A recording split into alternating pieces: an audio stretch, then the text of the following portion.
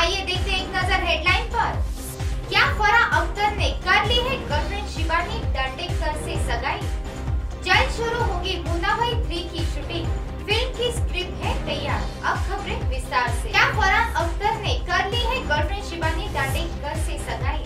मुंबई बॉलीवुड के multi talented star Farhan Akhtar ने 9 जनवरी को अपना 45 का बर्थडे मनाया। लेकिन फरहान अपने जन्मदिन से ज़्यादा रिलेशनशिप को लेकर चर्चाओं में बने हुए हैं।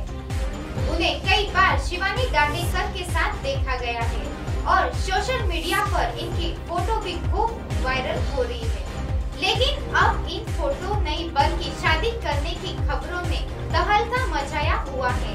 कहा तो ये भी जा रहा है कि दोनों ने सगाई भी कर ली है।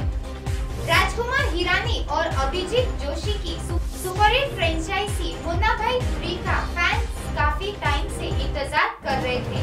मुन्ना भाई के फैंस के लिए गुड न्यूज़ आ चुकी है। ईरानी और जोशी ने फ़िल्म की स्क्रिप्ट को फाइनल टच दे दिया है। फ़िल्म से जुड़े लोगों ने इनकी पुष्टि की है।